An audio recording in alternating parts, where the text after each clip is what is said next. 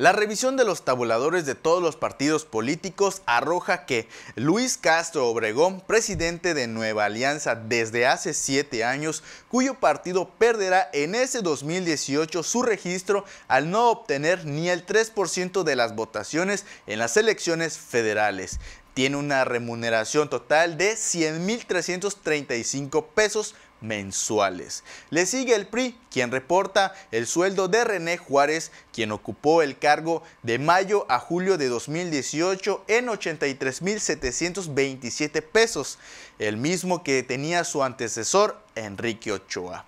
Según el portal Animal Político, después está Movimiento Ciudadano. Dante Delgado recibe 83.400 pesos. Le sigue el partido Encuentro Social, que también perderá su registro por no obtener el 3% de la votación. Paga a su líder Hugo Eric Flores 81.082 pesos. Con el sueldo más bajo, aunque los datos están desactualizados, se colocan los presidentes de Morena y el PRD con un poco más de 66 mil pesos al mes en ambos casos.